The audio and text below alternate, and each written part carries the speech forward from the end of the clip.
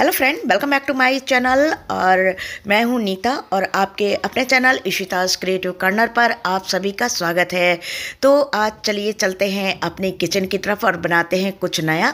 आज हमने आपके साथ एक ब्रेकफास्ट शेयर किया है, जो कि बहुत जल्दी बनने वाला है और साथ में काफ़ी स्वादिष्ट भी है।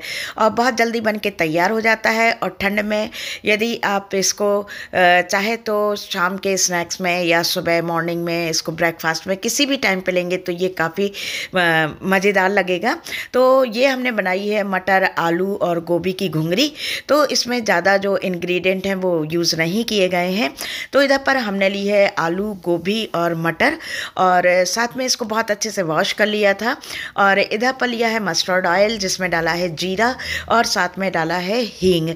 तो इस तरह से बस ये हींग डाल के और इसके बाद जो आलू, गोभी और मटर है तो उसको आप इसमें डाल दीजिए।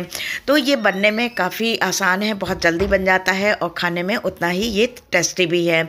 और ठंड में आलू मटर गोभी जो है तो एक बहुत ही अच्छी सब्ज़ी है जिसको आप किसी भी तरह से बना सकते हैं। तो आज की जो घुंगरी है तो काफ़ी टेस्टी बन के तैयार हुई है। तो इसमें देखिए, इधर पर अब डाल दी हमने मटर। और मटर डालने के बाद इसको कम से कम दो मिनट हाई फ्लेम पे इसको इस तरह से फ्राई कर लेंगे। फ्राई करने के बाद इसमें फिर डालेंगे नमक। थोड़ा सा ही नमक डालना है, जिसमें कि सब्ज़ियाँ जो पक जाएँ। क्योंकि हमने जो नमक है तो वो चटनी में भी डाला हुआ है।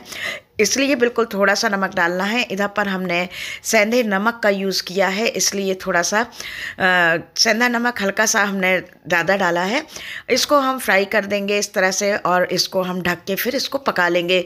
जिसमें कि जो आलू, मटर, गोभी हैं तो वो अच्छे से पक जाएँ और इसको हम ढक के और कम फ्लेम जो है तो उस पर हम रख देंगे। तो चलिए बनाना स्टार्ट करते हैं कि इसकी चटनी हमको कैसे तैयार करना है।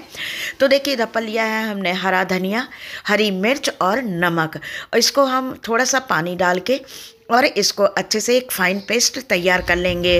तो और फ्रेश जो हरी धनिया है तो इसका जो टेस्ट है तो काफ़ी अच्छा आता है। इससे कोई भी चीज़ नहीं डालना है, सिर्फ़ नमक और हरी मिर्च डालिए। और बस जब आलू, गोभी, मटर पक जाए तो इसमें आप हरी धनिया का जो पेस्ट बनाया है तो इसको आपको डालना है।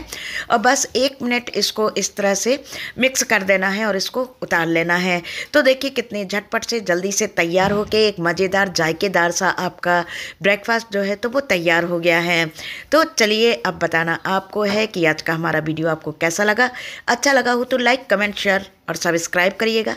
बेल बटन प्रेस करना बिल्कुल ना भूलिएगा। Thank you. फिर मिलते हैं एक और नए इंटरेस्टिंग वीडियो में।